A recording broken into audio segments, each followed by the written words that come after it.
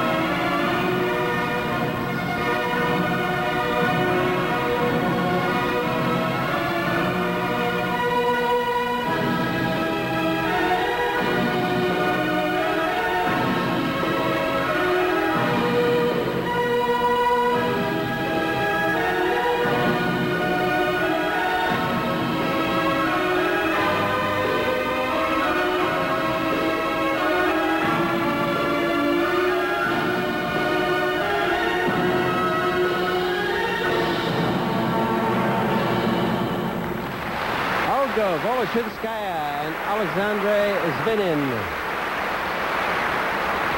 The most experienced competitors here in Skate Canada 1985.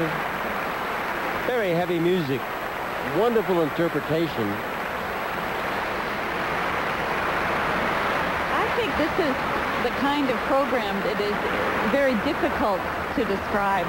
They were incredibly dramatic, but again, that crossover uh, so much arm-to-arm skating. Well, Debbie, I was just about to point that out because it says in the rule book again, and I'm quoting as I speak, that uh, um, excessive uh, moves in hand-to-hand positions with the dance, you should be penalized. And I counted very, very few traditional dance holds. And that's fine. It was befitting with the music and the choreography, but it does say in excess, and I believe that they really stretched that rule in particular beyond the limit.